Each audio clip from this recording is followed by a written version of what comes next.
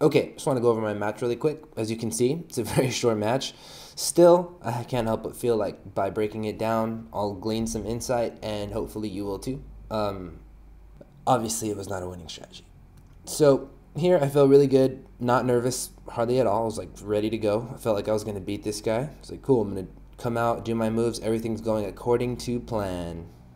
There's the photographer getting one of the pictures of one of the four pictures of me. Slap hands. I drop into this super low stance just to see if see about getting underneath him, but I already had my plan. I just, I start circling him and pulling on the lapel. He didn't like that, but he sat guard as soon as I was about to sit guard or pull the uh, single leg half guard. I'm gonna pull single leg half guard, and he sat down. So now I'm like, okay, I gotta pass. As soon as he sits, I want to do this in slow motion. Video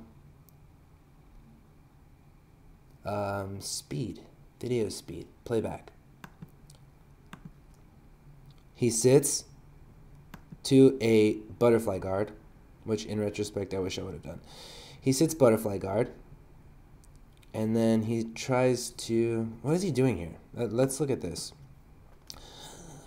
He sits butterfly guard. He's grabbing my pants and the top collar and putting his foot in my hip, setting up, grab switching from the pant to the sleeve, and tying up my arm with his my my armpit with his other leg, and looks like he's gonna start spinning in an omoplata.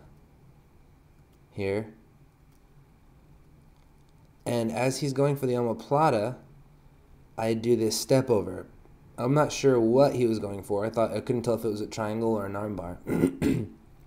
Sometimes they do this step over, and uh, I need to grab a charger. And um, here I stop. I thought I'm gonna pull my arm out, like I always do, but it was an omoplata, not a armbar triangle uh, thing.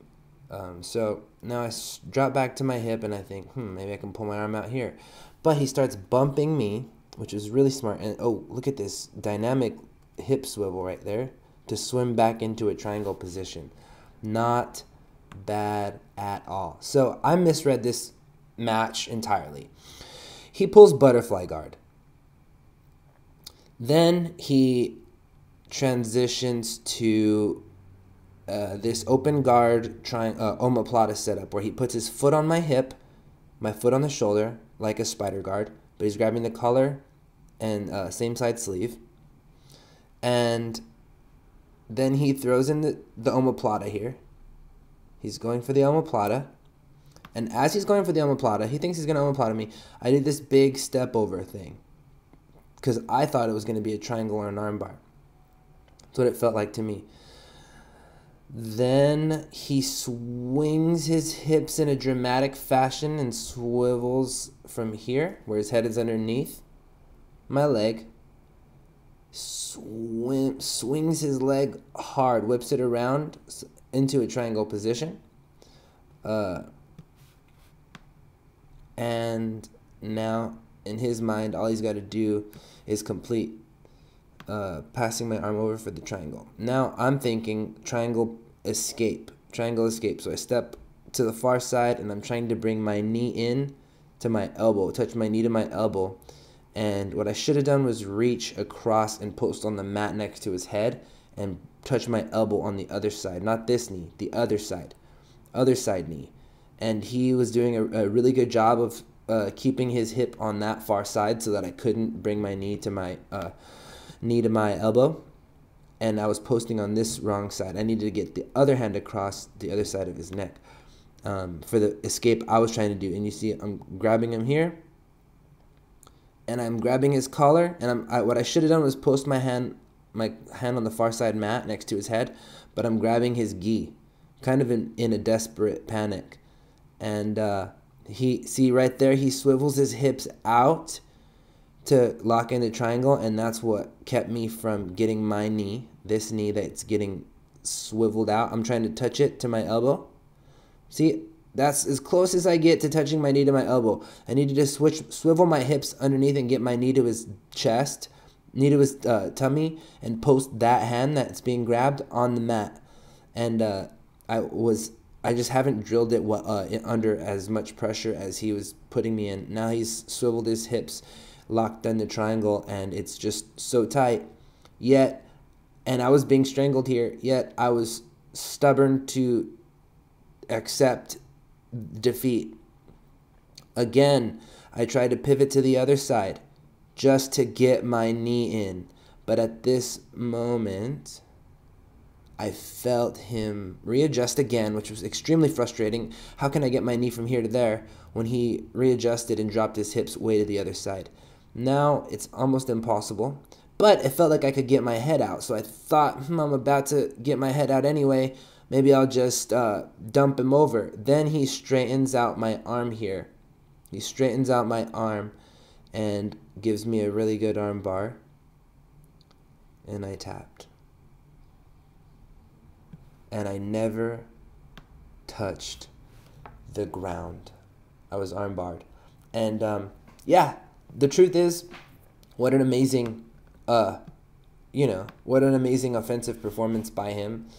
I um, felt really good, came out prepared.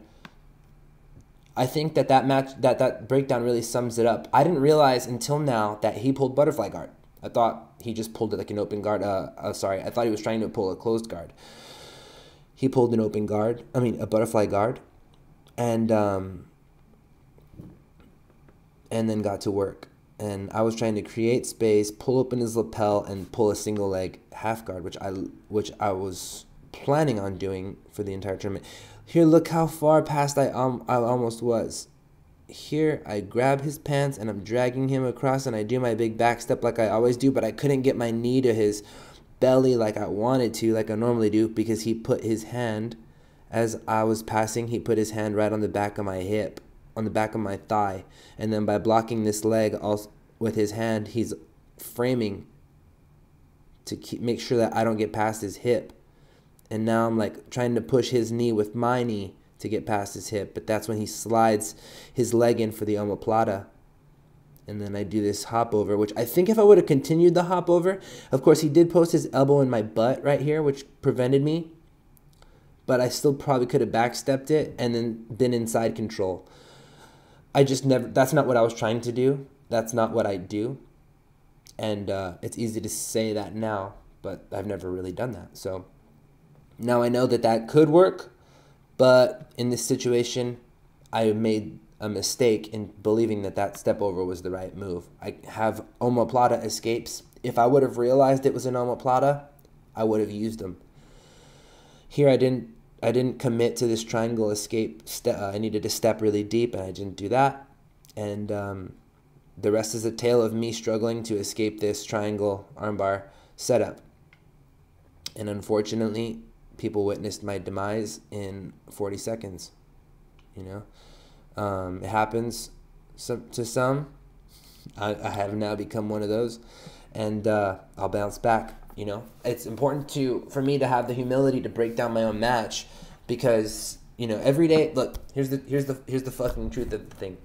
Every day we become a bigger version of ourselves. Every day we learn something about life, and if you are afraid to accept your past mistakes, you're living in the past. Like you're no longer that person, you know?